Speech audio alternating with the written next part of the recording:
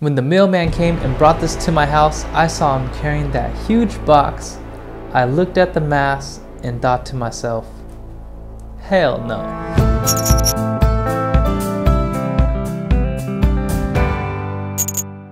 What's up? I'm Alan and this is Borderline Explorer, the channel for you if you enjoy backcountry camping and overlanding.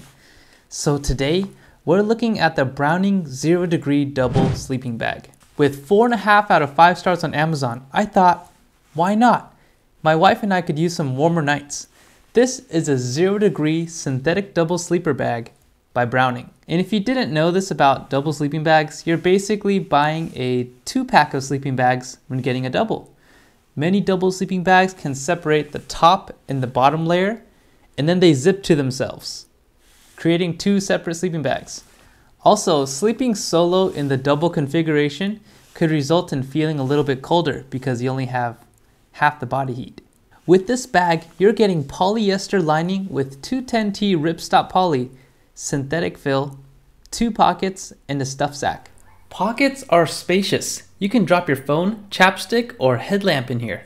I gotta say, the lining inside is pretty soft, and I didn't experience any static buildup. Let's run down the positives. My wife and I, we are two average sized Asians, so we almost have too much space, if there's such a thing. Also, side sleepers, you can rejoice, because there's a lot of space. This bag is coming in at just under $200. Now, considering that uh, if you're trying to get a sleeping bag for two people, that's a great deal. My other sleeping bag is a 15 degree bag and it's $300 for one bag. Just know that this is a great value, but it's not for everybody. Okay, some other positives. The zippers, they don't suck. I hate sticking zippers on sleeping bags. Okay, I hate sticky zippers, period. I hate them all. It's nighttime, you're in your tent, you don't want to be messing around with the zippers and getting it caught on everything. No fun. No bueno. And to be honest, this is a warm bag.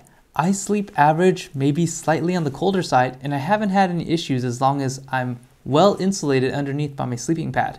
Let's go over some of the negatives. It's a bit noisy at night when you're shuffling around, and I think they actually added too much fabric to the top layer, which makes it scrunch up and it makes a lot of sound. I mentioned this thing is warm, this thing is spacious.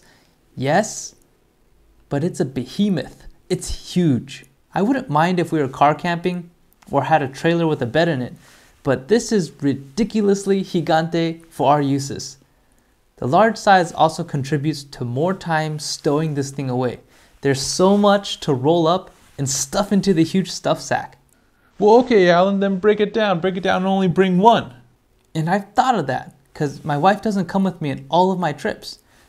I would, but then I need to buy another stuff sack because this one only comes with a single stuff sack that fits the full double sleeping bag. It would be nice if they sent us two separate smaller bags, but that's just getting kind of nitpicky. Finally, let's talk about the zero degree rating. No way. You'd be comfortable over 25 degrees ish, is my guess. The synthetic is cost effective, but not space effective. It's not for lightweight campers or backpackers, unless you're crazy. You know what? Actually bring it to your backpacking trip. I'd love to see that.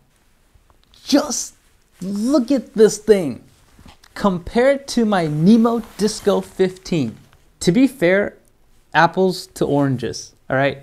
We're comparing different ratings, a zero degree, a 15 degree, synthetic fill, a double, down fill. But to be realistic, space is space. And this thing is huge. So what's the verdict? The verdict is you gotta hit that like button. It helps the YouTube algorithm push this video out to help educate and grow our camping community. This bag is no good for lightweight campers. It's perfect for those who have the space, who travel in twos all the time, and want to save some money on comfort. If I were to buy sleeping bags for myself and for my wife, I'd have to spend $300 on her bag, $300 on my bag to be nice and warm throughout the winter. When instead you can just spend $200 on a huge sleeping bag. So if you don't mind the space, it's great. I left a link in the description down below to this sleeping bag. And I'm not sponsored or affiliated with Browning, and all these opinions are of my own. But if you're Browning and watching, feel free to contact me. I love to play around with more products, review them, and then give them away to my Borderline fam. Subscribe if you're not already part of the family. If you like what you see, I'm also on Instagram at Borderline Explorer, and I try to get back to as many DMs as I can. Well, that's it for this one. And remember to worry less and to live a little. See you in the next one.